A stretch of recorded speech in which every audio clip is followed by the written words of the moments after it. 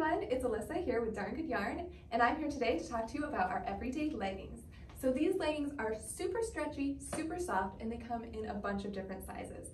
I love them a lot. They're super comfortable to wear all day, at work, at home, dress it up, dress it down. I'm wearing it with one of our Anya short caftans right now. Yeah, so you can only get yours at Darn Good Yarn, and um, they're fantastic. Thanks.